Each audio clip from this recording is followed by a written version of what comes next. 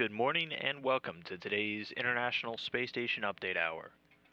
You're looking now inside of the flight control room here in Houston, Texas, where the Orbit 2 team is currently on console, monitoring all of the systems on board the orbiting complex.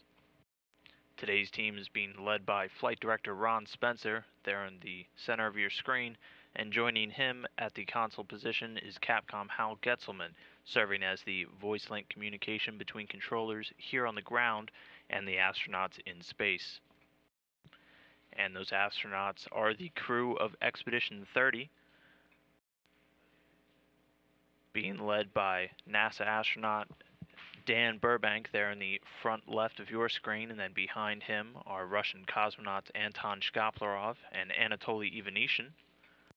Also across the back row are Europe- European Space Agency astronaut Andre Kuipers, NASA astronaut Don Pettit, and finally in the front right, Russian cosmonaut Oleg Kononenko. A fairly maintenance heavy day for the astronauts currently on board the station today, with many of the crew members taking up their day with some cleaning and replacement activities on many of the station's systems. Starting with Commander Burbank, who's working with Andre Kuipers in the cabin fan assembly and ventilation ducts, continuing some work that started yesterday. In addition to assisting Kuipers with these activities, Commander Burbank will also be working on the atmosphere revitalization bacteria filters, cleaning those out in all of the US modules, as well as taking a few samples in the Node 3 for eventual return to the ground. Russian cosmonaut Anton Shkaplerov is working on the TVIS system, or the Treadmill Vibration Isolation and Stabilization, he will be replacing one of the chassis on board. And then in addition to these activities, he'll be transferring some fluids into the Progress 46 water tanks and then flushing out some of the lines connecting those tanks.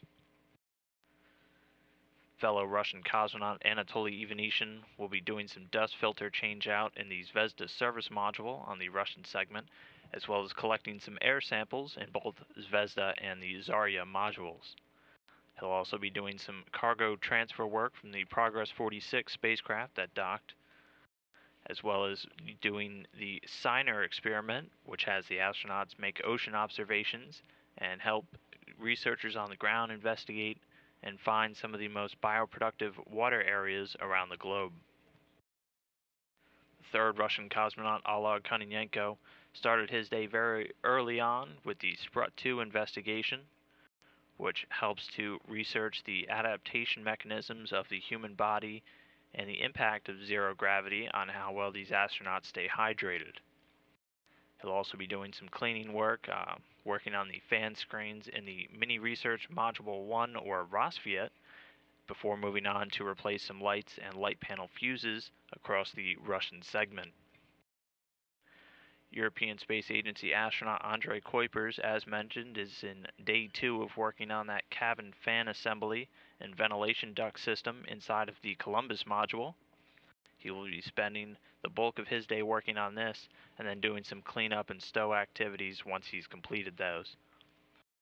And then finally, NASA astronaut Don Pettit is working again with the capillary flow experiment these are a suite of different fluid experiments on board the station that investigate capillary flows of fluids through various containers. This research is hoping to improve current models used here on the ground that are used by designers of different low gravity fluid systems, uh, most commonly used in spacecraft, and will have vast future implications. He will also be taking some samples for the Human Research Facility, collecting biological samples such as crew urine that helps to research again the microgravity environment on board the station and its effects on the human body over extended periods of time.